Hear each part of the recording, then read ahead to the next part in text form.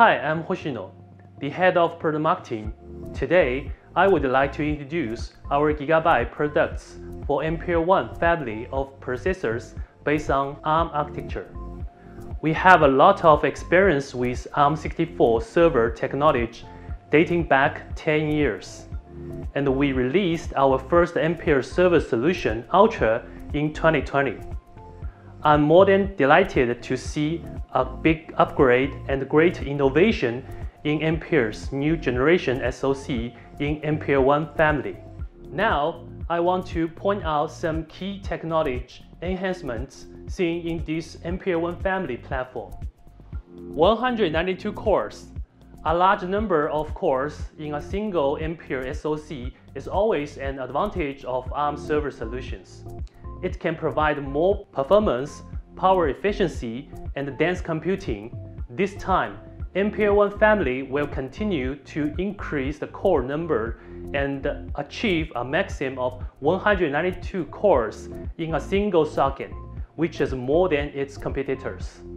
DDR5 memory. Ampere 1 family will upgrade memory speed to 48 MHz with DDR5 memory so it is on par with the newest solution in the market. PCI Gen 5 AmpereOne family will improve its I.O. speed using PCI Gen 5, which delivers double speed of PCI Gen 4. Also, a single processor can provide up to 128 LIMS of PCIe 5.0 with 32 controllers. And in a dual socket solution, there are up to 192 LIMS of PCIe 5.0 with 48 controllers. So lots of possibilities.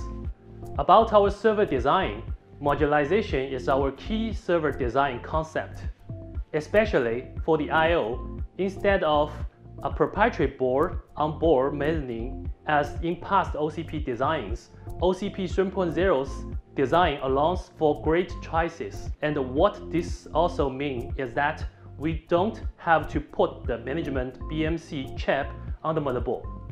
Instead, we created a BMC module for easier system maintenance and protection.